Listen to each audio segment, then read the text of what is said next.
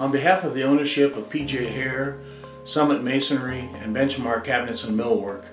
we want to wish all of our team members, our valued clients, our outside business associates, a blessed Christmas season as they enjoy the blessings of this season with their loved ones, and especially as we celebrate the birth of our Lord and Savior Jesus Christ. We also want to wish all of you a blessed and prosperous 2019.